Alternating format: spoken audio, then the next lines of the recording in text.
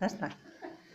Para além do, do que descreveu aqui a Conceição, eh, o que mais me chamou a atenção foi também eu uh, aperceber-me que existem lá pessoas de todas uh, as idades. Tanto tinha gente muito jovem, como tinha gente como já com uma certa idade.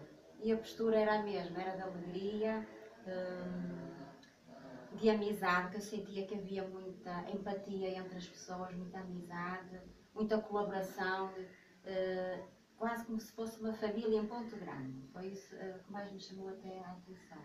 E que as pessoas se podem lá com muita vontade.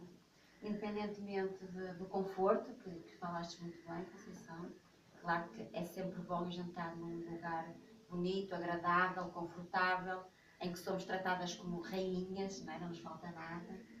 E, hum, e acho que sinceramente foi isso que me, pronto, me despertou mais a atenção, foi ver realmente gente, eh, certamente gente com formação académica, mas também gente simples e que não é impedimento para lá chegarem, é? ou subirem ao palco, é isso que eu também fiquei com essa uh, impressão. Por isso é sempre válido e, gostei muito da experiência. Obrigada.